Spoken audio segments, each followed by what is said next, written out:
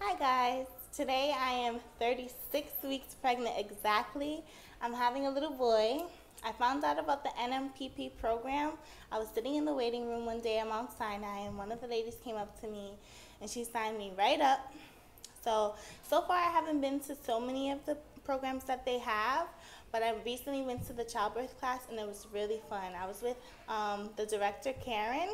She helped me and prepared me so I can be really knowledgeable about childbirth and everything that comes with it. If I'm going to do natural, if I'm going to do epidural, C-section. She even had us fill the cervix. It was really fun. Um, my case manager, Diamara, she's really good. She always calls me and checks up on me to see how I'm doing, asking me if I need anything for the baby, if I'm to breastfeed, and how I'm just to go about everything. So I'm really happy that I found out the pro- about the program because it's really helping me to to like look at things differently because I know that everything is about to change because I'm a first time mom.